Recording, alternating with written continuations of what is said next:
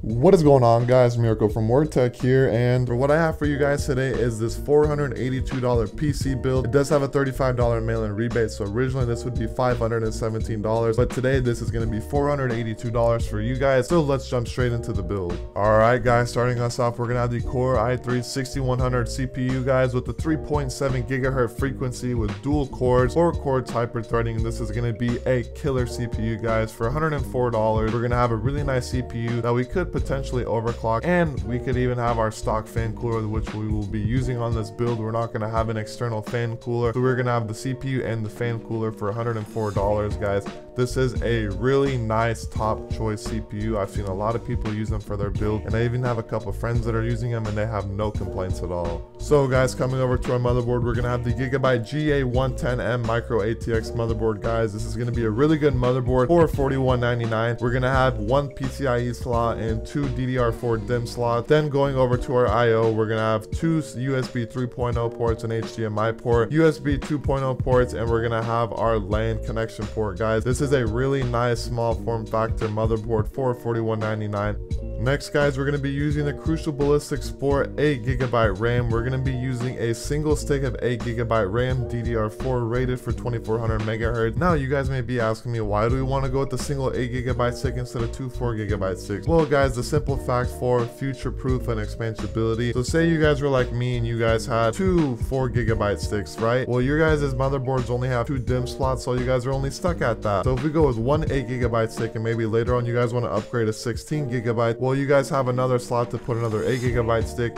and your guys' future proof is enabled right there. Okay guys, coming over to our hard drive, we're gonna use the Western Digital Caviar Blue 1 terabyte drive. This drive is 7200 RPM, so it is pretty fast. And for only $48.99, this is a really good bang for your buck hard drive to store all your games, media, and content on it. Now, since our build is only $482 and say you guys have that little extra money to spend to exactly $500, you guys could even spend up to around $30 to get like a 90 gigabyte SSD or somewhat even around 100 gigabyte SSD just to have that extra space if you want to put your really important games or programs you guys have. You guys could even fit probably even three or four on that SSD. Or if you guys even have a little bit more money extra during towards Christmas, you guys can invest into another SSD or a, maybe even a higher capacity SSD, guys. But for $48.99, this is a really good drive, guys, to hold all your content and games on. Okay, guys, coming over to our graphics card, maybe arguably the most important part of these PC builds, as some would say. We're going to be using the MSI Radeon RX 480, the 4GB variant with GDDR5 memory and a core clock of 1.12 GHz. This is going to be a really bang for the buck card, guys, at $180. If you guys don't know already, MSI has been killing the graphics card game for the past two, three years now, and this is no exception at all. With their twin Frozr fans, these are going to be really nice if you want to get a pretty stable overclock onto this card. You'll have no problem at all. I would really suggest getting this card. This is actually the card I was going get to the replace my 970 to be honest, but I think I'm gonna stick with my 970. Yet again, with this graphics card, you guys are gonna be maxing out games at 1080p just fine, and you might, maybe might be able to get in some of that low end 2560 by 1440 gaming. You probably could, guys. I'm not 100% sure. You guys have to test that out on yourself. But guys, for this graphics card, you're gonna be set for stone.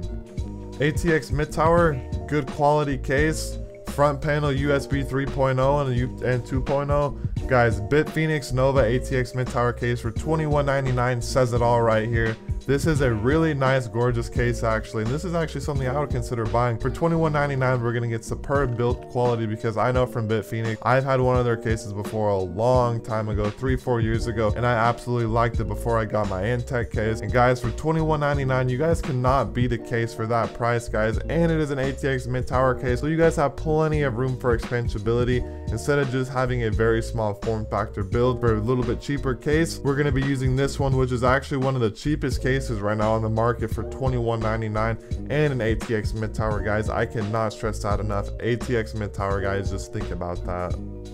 Lastly, guys, getting into our power supply, we're going to be using the EVGA 50 watt 80 plus bronze certified power supply, guys. 500 watts is going to be setting it a really nice tone for this build. Since we only have one PCIe slot, we can't do any crossfire builds, so 500 gigabytes actually might be the max that you might want to use unless you guys upgrade your motherboard later on, but still with 500 watts, you guys will have no problem running two graphics cards, whether they're the RX 480s or the 1060s.